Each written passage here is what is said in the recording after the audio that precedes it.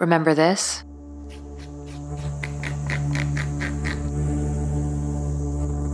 I'm hoping that the bark tan works well.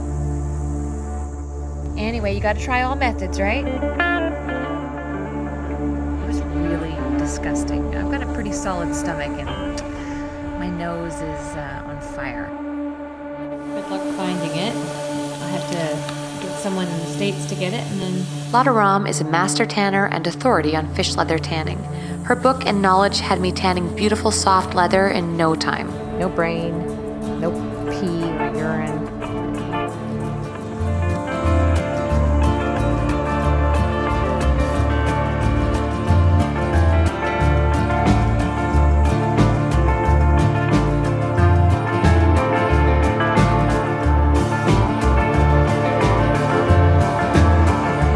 the link below to learn more.